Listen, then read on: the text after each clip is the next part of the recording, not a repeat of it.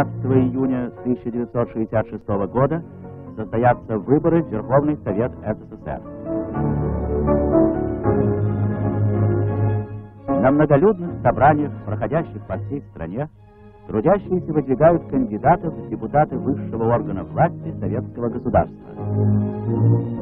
Кандидатом в депутаты Совета Союза Верховного Совета СССР по Бауманскому избирательному округу Москвы единогласно выдвинут генеральный секретарь ЦК КПСС Леонид Ильич Брежнев. Председатель Совета Министров СССР Алексей Николаевич Косыгин единодушно выдвинут кандидатом в депутаты Совета национальности Верховного Совета по Московскому городскому избирательному округу. Председатель Президиума Верховного Совета СССР Николай Викторович Подгорный, кандидат в депутаты Совета Союза по Ленинградскому избирательному округу столицы. Высокое доверие оказывают советские люди самым достойным труженикам промышленности, сельского хозяйства, науки и культуры.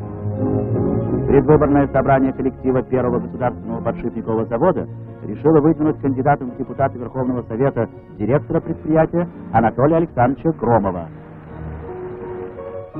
Ученые и сотрудники Академии наук СССР назвали своим кандидатом президента Академии Мстислава Всеволодовича Келдыша.